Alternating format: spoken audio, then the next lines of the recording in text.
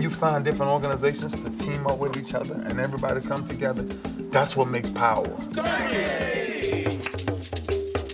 We've been coming to Africa, yes, for more than a decade. The people here, the cycle of life that you see so evident, just brings you close to the ground. Hello, hello, hello. Ah. Say my brother Ray.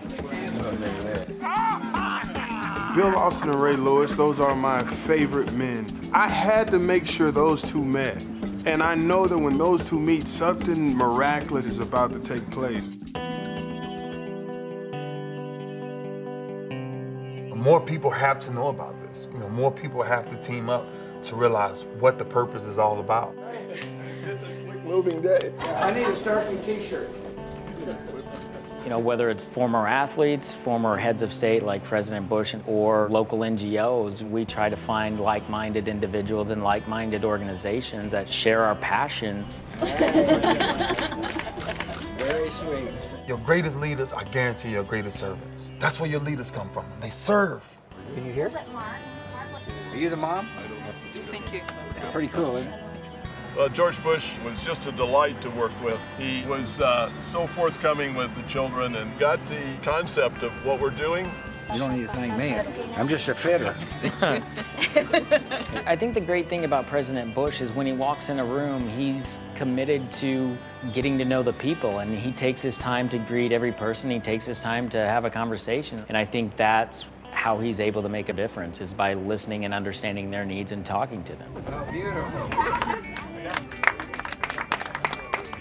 Power is being able to make a phone call and get this group to team up with this group. And the Post for Africa team with Starkey and Starkey with a Rosar. And it turns into this blossom of, of beauty. Wow. Boom. That's what I needed to see. We have to tell people to stop pain and find a way to love.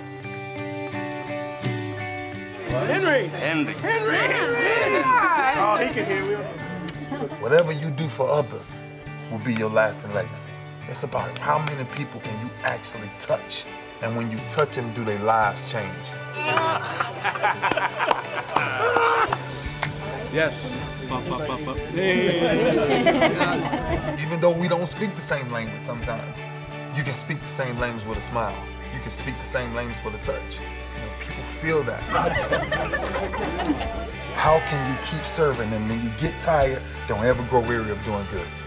Just keep going, just keep going, just keep going. It's good. Bill and your dear wife. You're exceptional human beings. You work so hard in life, you've been successful, and contribute to making the lives of other people better. Thank you, thank you so very much.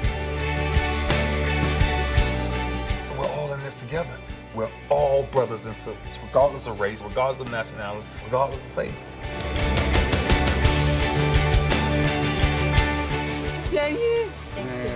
Champion. You can give a lot of things away, but when you give time, when you give love, then you lend out hope. If you're ever able to touch one person, then job well done.